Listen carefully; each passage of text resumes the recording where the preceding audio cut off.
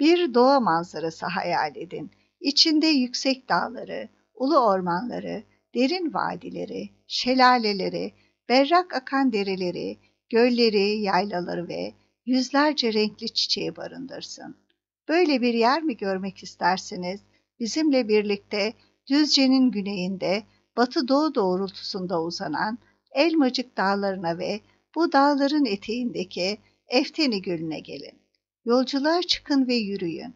Coğrafyayı elinizle değil, ayaklarınızla yazın. Hazan mevsiminin güzelliklerine tanık olun.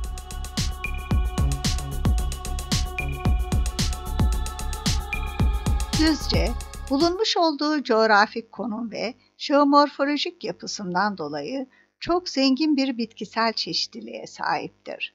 Kendi topraklarından doğan Melen Çayı Havzası içinde bulunmaktadır. Melen Havzası, iki büyük havzanın Sakarya ve Filyos Çayı havzaları arasında yer alır.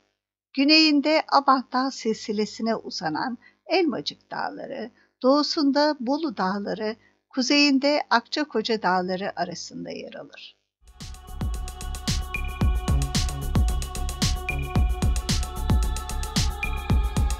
Bu havzanın güneyindeki Elmacık Dağları zengin bitki örtüsü ve su kaynakları nedeniyle Batı Karadeniz bölgesinin en önemli doğal kaynak rezervlerinden birisini oluşturmaktadır. Bu kapalı havzanın Karadeniz'e tek çıkış noktası olan Büyük Melen Çayı son zamanlarda yapılan projeler ile İstanbul'u su sağlayan en önemli su kaynağı haline gelmiştir. Karadeniz ve Akdeniz bitki örtüsünün kesiştiği bu özel coğrafyaya güneyde Mudurnu'dan gelen İç Anadolu step bitki örtüsü de katılmaktadır. Bu durum Düzce'ye çok zengin bir bitkisel çeşitlilik sunmaktadır. Değişken jeomorfolojik yapısı nedeniyle kapalı havzalarla derin vadilere bölünen Düzce Melen Havzası, mikroklimatik özellikleri nedeniyle bu bölgeye özgü nadir ve endemik bitkilerin bu bölgede yaşamasını mümkün kılmaktadır.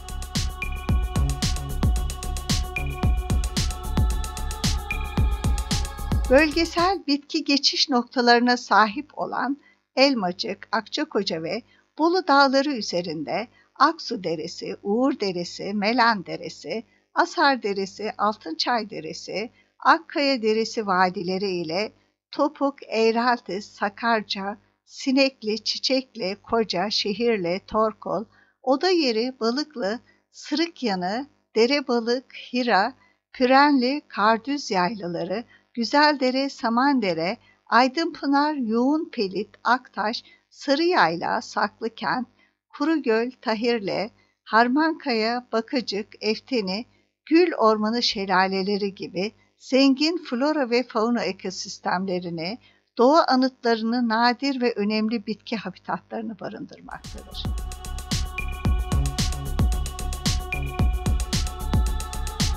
Elmacık Dağları denince akla zümrüt yeşili ormanları gelir. Bu ormanların en meşhuru Çiçekli ve Balıklı bölgelerindeki Ulu Kayın ormanlarıdır.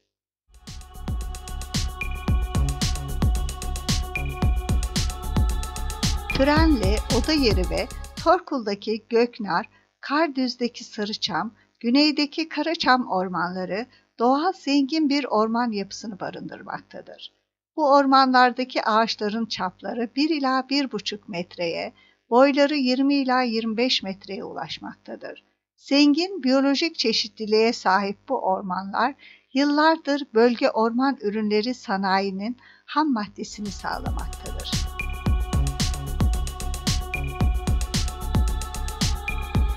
Elmacık dağlarının eteğinde çok sayıda kuş türünü barındıran ve nadir bitki türlerine ev sahipliği yapan Efteni Gölü bulunmaktadır.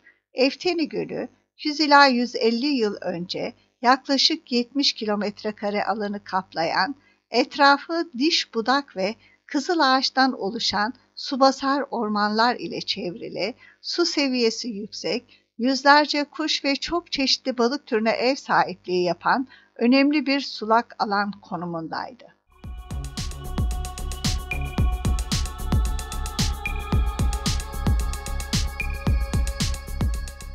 Düzce, Elmacık Dağları bitkisel biyolojik çeşitlilik bakımından %10 endemizm oranı ile önemli bitki alanları kriterine sahip olup milli park olabilecek nitelikte zengin biyolojik çeşitlilik merkezine sahip Batı Karadeniz'in en önemli bölgelerinden birisidir.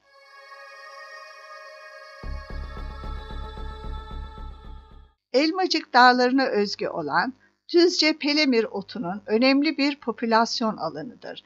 Bölgenin en yüksek zirvesi olan 1830 metre rakımlı Kardüz Yaylasıdır. Düzce Havzası veya Ovası'nın oluşumunun gereği asıl yapısı kum, silt, kildir. Kumlu ve kirli seviyeler sıkça tekrarlanır.